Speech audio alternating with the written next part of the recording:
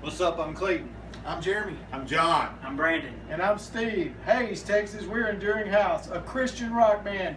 We want to thank you for nominating us as one of the top five Christian bands for the 2016 ETX Music Awards.